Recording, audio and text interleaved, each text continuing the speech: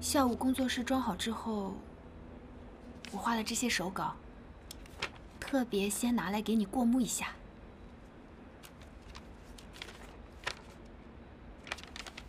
嗯，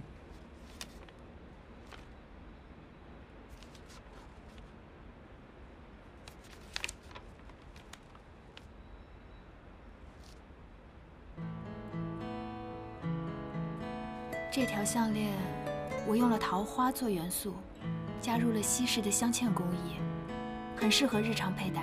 你觉得怎么样？这是我们那天喝酒之后，你来了灵感了。嗯，你胡说什么？给我。好啦，我能看出来，你在西式镶嵌工艺上加入了东方元素，又在东方元素上做了大胆的设计，很别出心裁啊。如果投放到市场的话，效果应该还不错。那你觉得奶奶会喜欢这种风格吗？奶奶？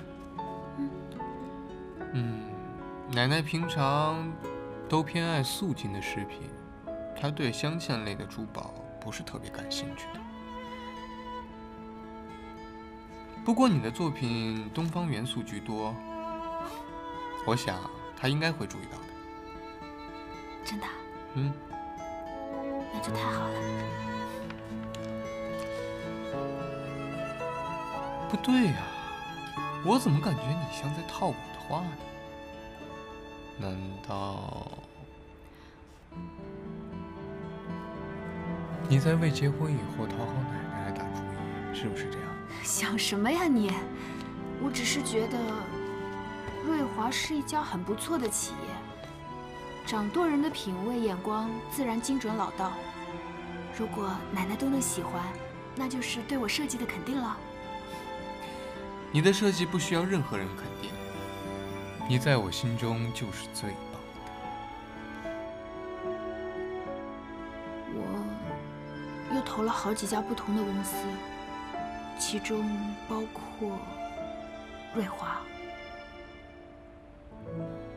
但是到目前为止，还没有一家有回应。